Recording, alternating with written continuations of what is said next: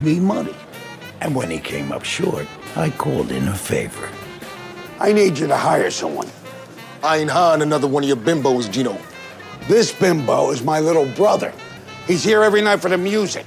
He's more Negroish than anybody else in this club. Frankie!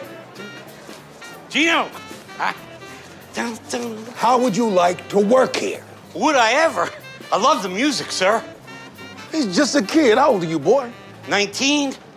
Shit, you don't look a day over 12. I'll do anything. I was looking out for my younger brother.